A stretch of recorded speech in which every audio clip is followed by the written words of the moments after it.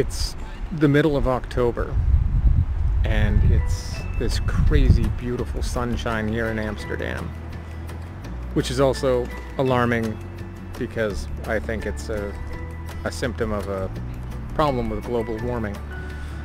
But for the moment, I am on my last day of a, of a bit of a hiatus between jobs.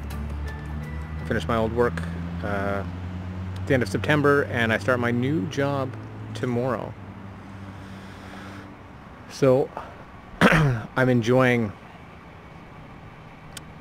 the last few hours, uh, so to speak, of, uh, of freedom.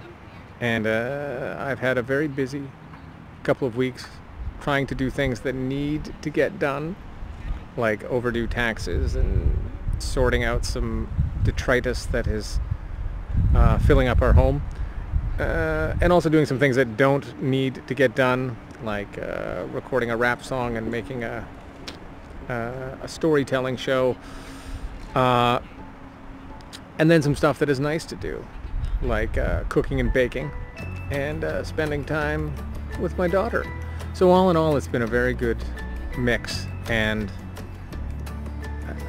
I, don't know. I think that's my that's my message. That's my thought. That when there is time to take, take it. And uh, yeah, I'm looking ahead at a big new job. That's a big step for me. Looking back on. Uh, you know, the old job that I had, and uh, mostly, though, I'm looking at the looking at the now, spending time in the park.